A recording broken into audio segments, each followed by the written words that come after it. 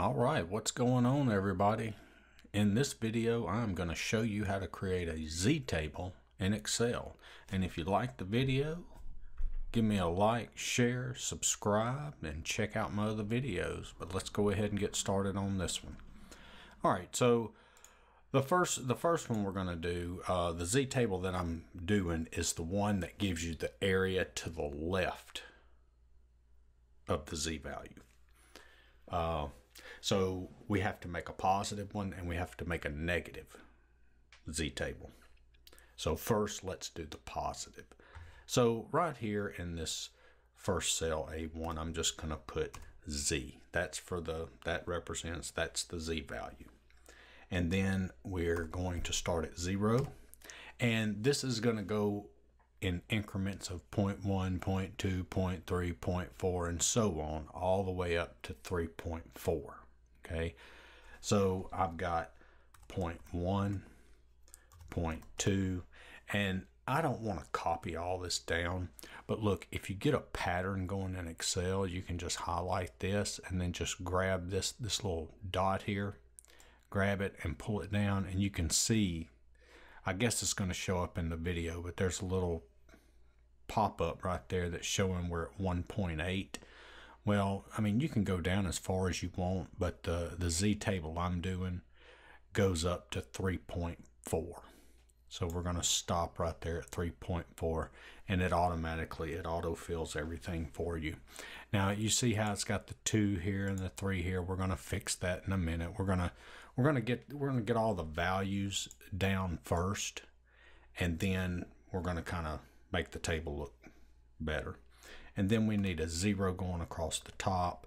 And then I've got 0.01, 0.02, and so on. And this has to go to 0.09. And so we're to stop right there. And I'm to, I'm to uh, center everything at the end. But now what we've got to do is we've got to fill in our values. Okay, we need we need these areas right here. So the formula that we're going to use is going to be norm dot s dot dist. That's the normal distribution, and you can see they want the z value. Well, what's the z value?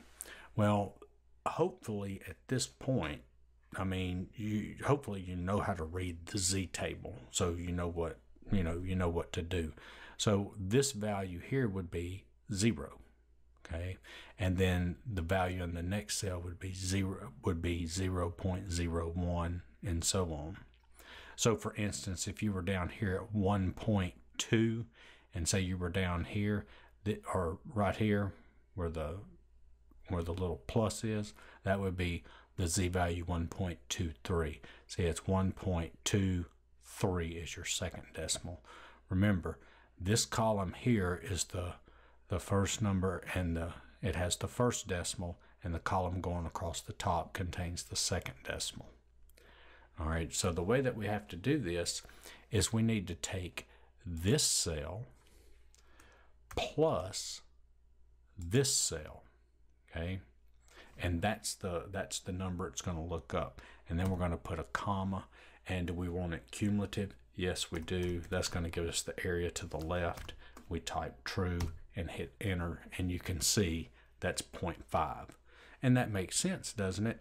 Because zero in the standard normal curve, zero is the mean, so zero's in the middle.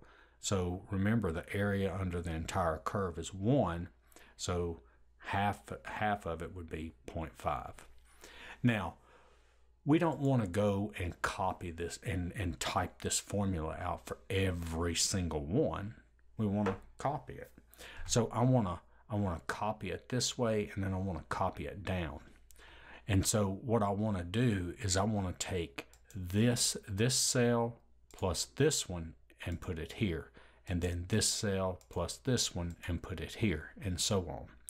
So as I copy this thing across, I want I want this to change the the B1 I want it I want that to change to C1 and then D1 and so on but this I don't want it to change it has to stay at A1 because I want to do 0 plus each one. Well, if I grab this and just pull it across, that's not correct because what that's doing is you can see that's now doing B2 plus C1. See, B2 plus C1, I don't want that. I want A2 plus C1. All right, that's what we want. So how do we fix that? Well, if you want, we want the column to stay the to stay fixed. We don't want the column to change. So what I do is I come here in front of the A in the formula and I put a dollar sign. And what that will do is that will that will make the column stay at A. All right. And so now we're going to copy it across and there it is. And you can see, you see A2, A2, A2. See, it stayed fixed. Now I need to copy this thing down. And you might be wondering, well, why didn't you put a dollar sign in front of the two? Well, because look, when I copy this down, see, I want A3 plus plus B1.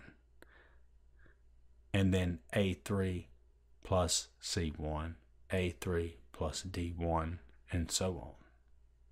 You see that? All right.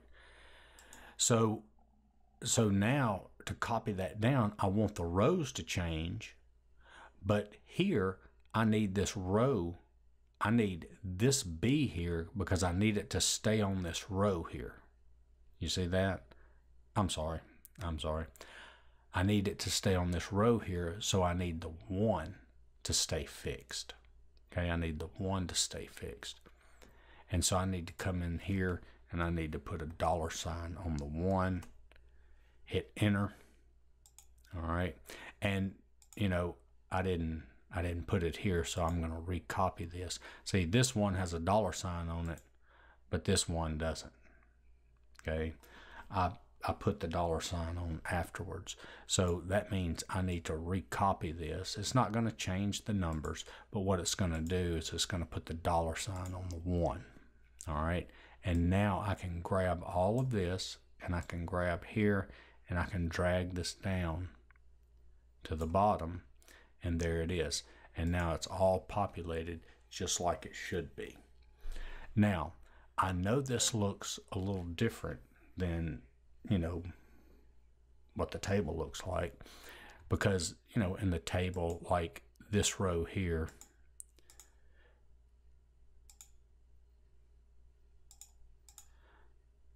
this zero here, it normally shows as 0.0 and this one here would show as 1.0.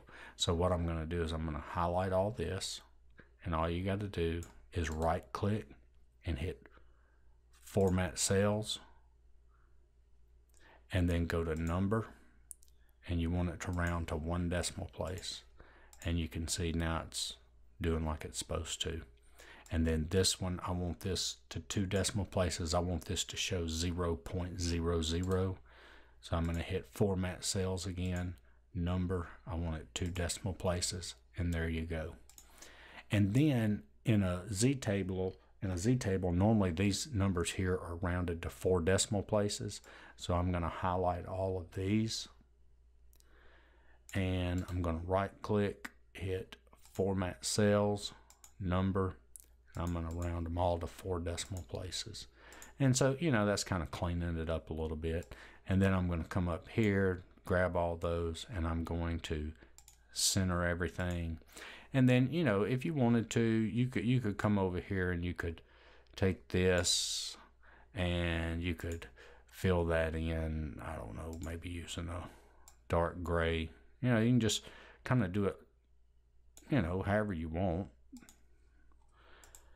And so, you know, that makes it look a little better, I guess. And if you wanted to, you could come over here and you could add some some borders. I mean, I don't know if you want to do that or not, but if you do, just put all borders on it and there you go.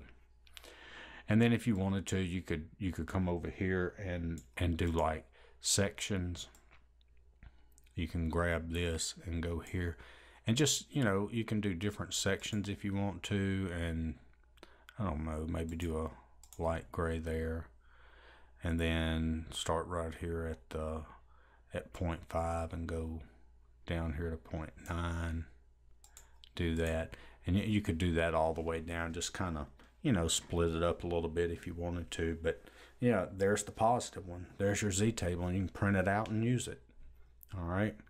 Now let's look at the one for negative. Oh and another thing if you wanted to you could you could come over here and just kind of move these rows in closer if you wanted to or you can just leave them wide like that. You know you might want to adjust the rows depending on if you can fit it on a page or not you know. So you may have to do that i don't know. But now let's look at the negative one because the negative one's a little bit different. So to do the to do the negative well we're going to start out the same way. We're going to put the z there and remember on the positive positive one we went from 0 to 3.4 well we're going to do the same thing here from 0 to negative 3.4.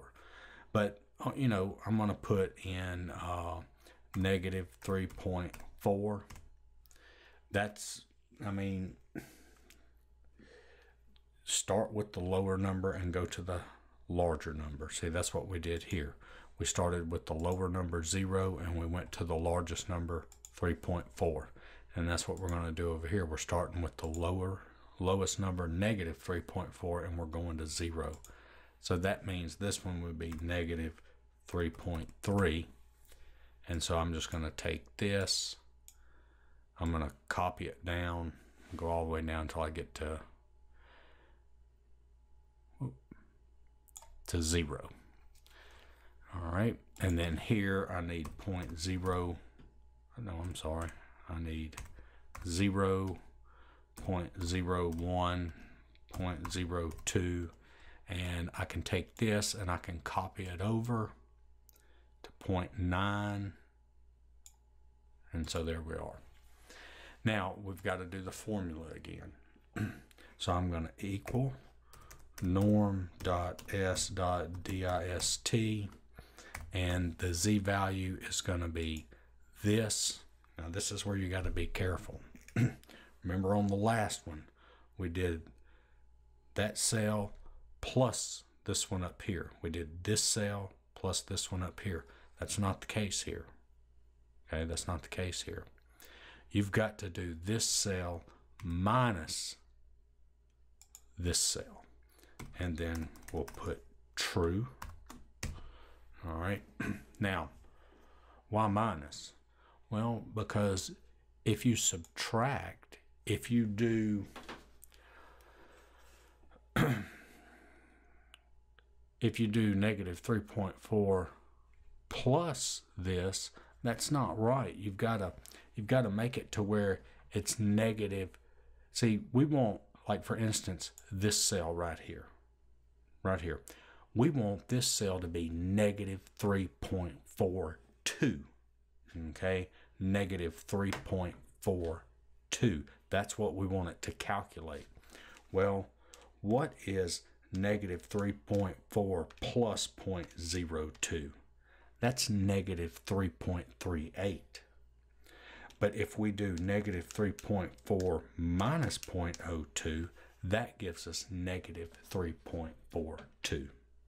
All right, so that's where you got to be careful on the uh, on when you're doing the one for subtraction. And then let's go ahead because we already know how to do that. Let's add the dollar sign to hold that column and this row here fixed and hit enter. And then we just take this, copy it over, and then we grab it again and copy it down. And there they are. And look, this is all highlighted, so just go ahead, right click on it, format cells, number, we want to round it to four decimal places. There it is. Now let's take this and let's round this to one decimal place. And th this right here is just cosmetic here, you know, just making it look better. And then we go across here and we want to round this to two decimal places. And then of course we can come over here and center everything. And that's it. that's how that's how you do it. That's how you create a Z table in Excel. All right, so I hope the video helped. Check out my other videos. Give me a like, share, and subscribe. And I'll see y'all later. Thanks for watching.